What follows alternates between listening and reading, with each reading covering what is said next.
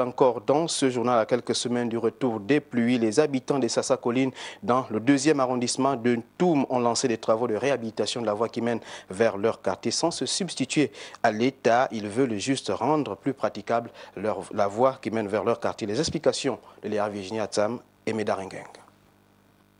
Comme chaque année avant le début de saison des pluies, les populations des Sassa-Collines, réunies en collectif, font des travaux sur cette route quasiment impraticable en saison des pluies.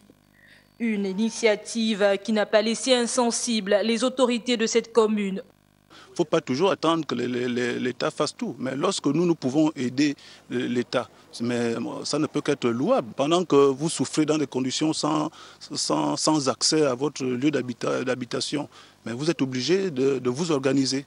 Et c'est ça aussi, ça fait partie de nos mœurs, se cotiser, faire euh, l'entraide, euh, la solidarité. En tant que collectivité, notre devoir est d'appuyer ce type d'initiative que nous souhaitons euh, pérenniser. Les populations des Sassa-Collines font des va-et-vient sur cette route avec un espoir, celui de voir arriver à terme ces travaux.